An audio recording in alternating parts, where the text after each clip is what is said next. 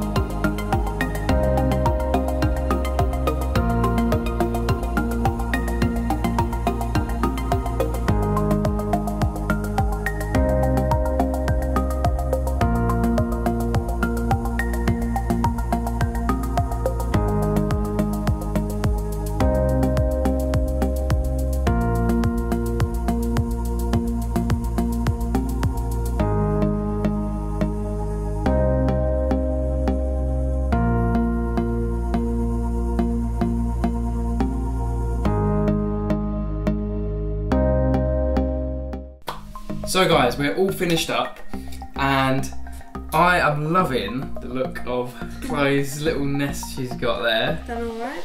Considering it's your first ever formicarium uh, that you've ever made, I am seriously impressed. But so, Chloe, what is it you've uh, you've created there? So I created a YouTube play button. A YouTube play a YouTube play button. Mhm. That's awesome. You've put so Chloe's like uh, put the tunnels, uh, made the tunnels into the YouTube play button. That's good. I really like it. I really like it, honestly. For your first form formicarium, so what? Uh, so I'm going to test her now. If you were to put uh, an ant in there, what ant would you put in there, and what's its scientific name? No. You don't know. Lasius Lasius Niger. Lasius Niger. Yeah. Alright, okay. Deserve a round of applause. Alright. So, I loved your nest. It's made out of plaster. So, if you guys want to create your own plaster nest, I will leave a link down below in the description if you want to check out the tutorial yourselves and build your own plaster nest. Alright?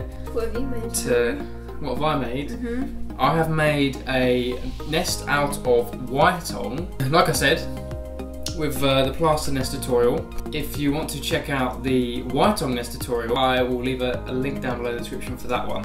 Alright, but yeah, I created a Ytong nest here. As you may have noticed, I wrote Ants Britania, painted Ants Britania and carved it in onto the top here. I kind of wanted it to be different uh, to other nests that I'd made or you know, anyone else had made and hopefully it is. I don't know if there's any other nests like this but.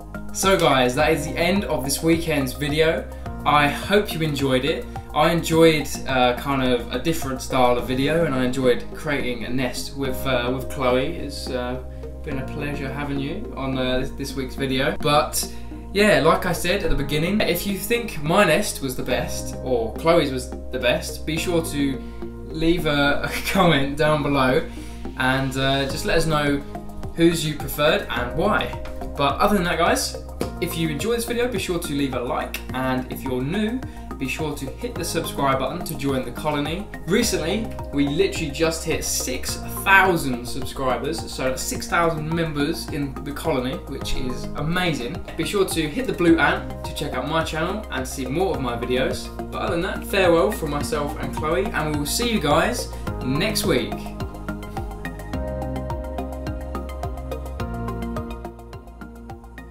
So, Chloe, um, what uh, what have you created? Is it? Let me do it again. Right. Right.